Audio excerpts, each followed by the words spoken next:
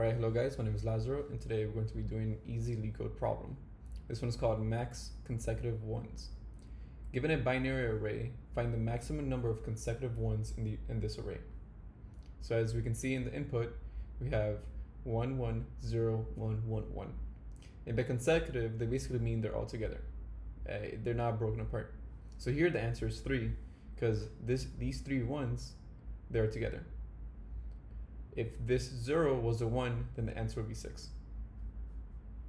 They, they also have an explanation right here. The first two digits, or the last three digits, are consecutive ones, and then the maximum, the maximum of those two groups is 3. Right now, a little note is the input array will only contain 0 and 1s, uh, aka the binary array. And the length of an input array is a positive integer and will not exceed 10,000. Cool. Uh, so basically that's just talking about the length of the array. Pretty self-explanatory. All right, so that's a problem. Now let's get into the logic behind it. All right, so solving this problem is actually pretty easy. What we want to do is just count how many ones we've seen and then keep track of the biggest one or of the biggest group of ones. So right here in the beginning, if we were to iterate this from left to right, we will go I've seen one one, and then here I've seen two ones. Then once we get to zero, we kind of reset the count. So now I've, I've seen zero ones. Because remember, they have to be consecutive. So if this is zero, let's just restart. And now once we get here, we see, we say I've seen one one, then I've seen two ones, and then I've seen three ones. So now we just take the maximum. What's greater, having seen two ones or having seen three ones?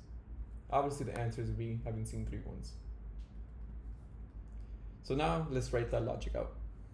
So this is our given array. And another variable that we're gonna want is our answer, of course. Right, let's initialize our answer to zero. And then as we go through this array, let's update our answer to the big to the biggest group of ones. Another variable we're gonna want is count. We want to keep track of how many ones we've seen or how many ones are in our group. This count is basically doing what we did here. One and then two, then zero, then one, two, and three. The count is these numbers down below. All right. So now, since we know we need to iterate through this array, we need a for loop. So for every element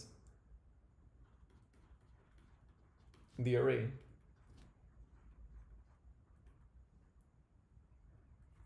if the element is equal to zero, then we want to reset our count. We want to reset it by setting count back to zero. Else, let's say the element was not equal to zero, if it was equal to one, for example, since that's the only other option, we want to increment count.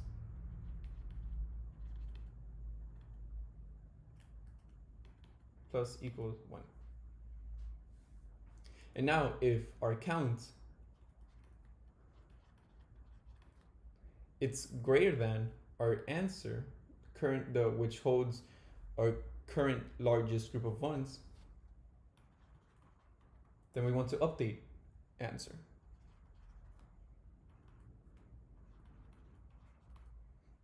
and then finally outside of this for loop let's just return answer So let's work through this.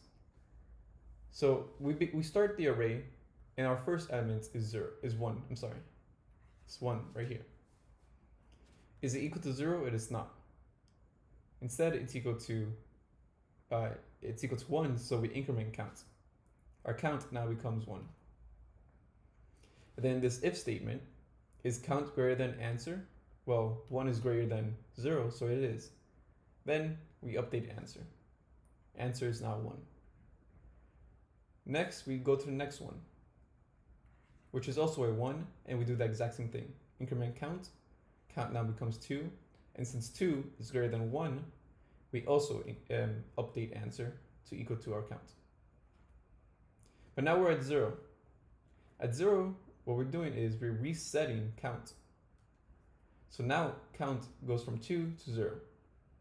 And 0 is not greater than 2, so this if block never runs. And our answer stays at 2. Next, when, once we see another 1, we increment our count from 0 to 1. And then 1 is less than 2, so answer is not updating. Now we see another 1, and our count now becomes 2. 2 is not greater than 2, it is equal to, so this if block still does not get run. Now we see our third one, and our 2 updates from 2 to 3, and 3 is greater than 2, so we could run this block, and our answer gets updated to 3. And then finally, since we've seen every single element in this array, our for loop right here finishes and we return answer, which is equal to 3, and that's the correct one. So this is pretty fast and pretty simple. Now let's write out the code.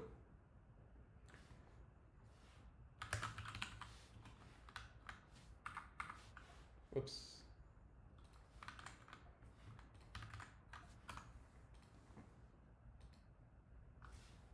Okay. So right here. So our answer is equal to zero, and our count is equal to zero as well.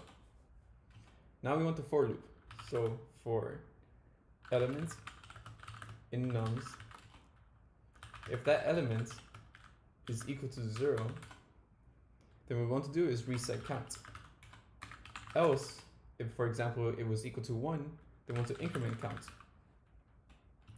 And now out here in the bottom, we check if count is greater than ans. If count is greater than ans, then let's update ans to equal to count. And we're done with the for loop. Now let's just return ans. So let's run this. Okay, it works, and now let's submit it.